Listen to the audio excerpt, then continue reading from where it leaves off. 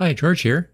And today we're going to be taking this photograph in the middle and combining it with this picture over here on the right-hand side and give us a new picture over here left-hand side. Easy, straightforward project. Let's just go ahead and get to this. This will be our base image right there. And then I'll take this picture here. I'm just going to drag this layer over here, drop it in. There we go, and get rid of that. We now have both pictures inside of this one project. I'm going to bring the opacity down on this top layer here. And We can now see that. Let's just see how that fits. And it fits pretty well just as is without any real change to it. I'll put that right there and bring our opacity back up again. Now notice that the sky doesn't go clear to the top of the picture up here. That's easy to fix.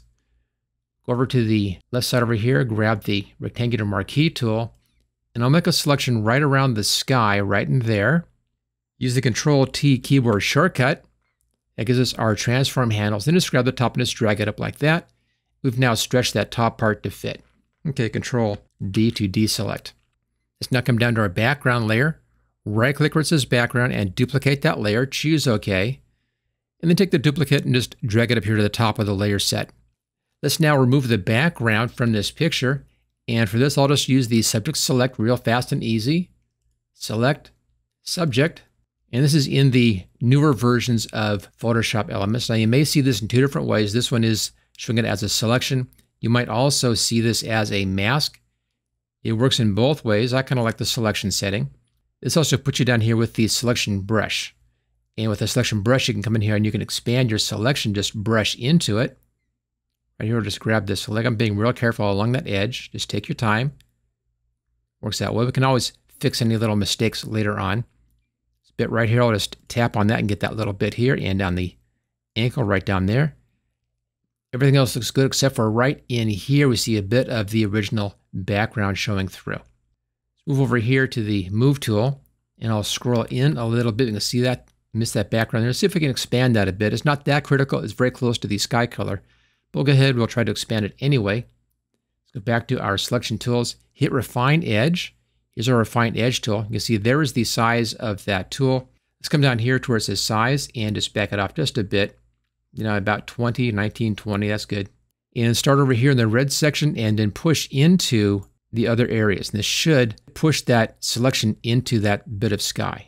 This should give us a nice selection there. Just kind of push that through like that. And all the way down.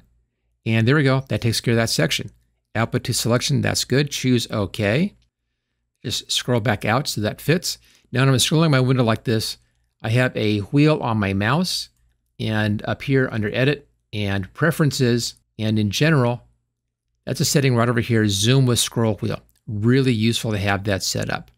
Okay, now that we have our selection, let's just hit this button right there. This is the add layer mask button. And there we go. Good selection in there.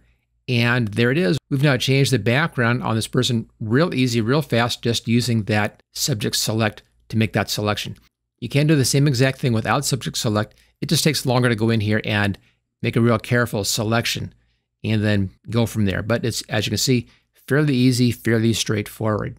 And if you enjoyed this video and you want to learn more about how to use Photoshop Elements, I have a complete training course for this. I actually have different versions for the different versions of Photoshop Elements, and it covers everything, all the tools, all the menus, all the panels, everything, including the organizer, and I'll put a link for that at the top of the description. If you enjoyed this video, make sure you hit that thumbs up button also, make sure you subscribe so you don't miss any videos in the future. I'm doing new videos all the time, and I'll see you next time.